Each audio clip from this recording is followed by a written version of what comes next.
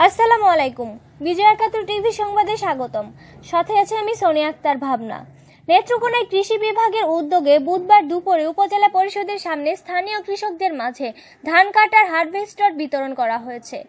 এ সময় উপস্থিত ছিলেন সংরক্ষিত মহিলা আসনের সংসদ সদস্য হাবিবুর রহমান খান শেফালি উপজেলা পরিষদ চেয়ারম্যান অধ্যাপক তফসির উদ্দিন খান, উপজেলা নির্বাহী কর্মকর্তা মাসুদ আক্তার, জেলা কৃষি অধিদপ্তরের উপপরিচালক Habibur Rahman, SI motors limited এর regional sales manager Bidhan Chandra Das সহ অন্যান্যরা।